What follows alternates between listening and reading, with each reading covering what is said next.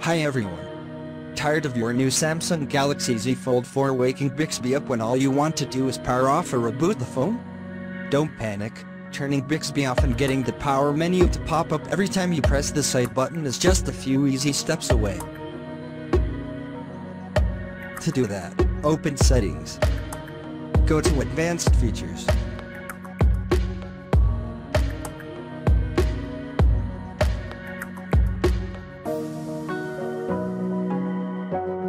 Tap on Side Key.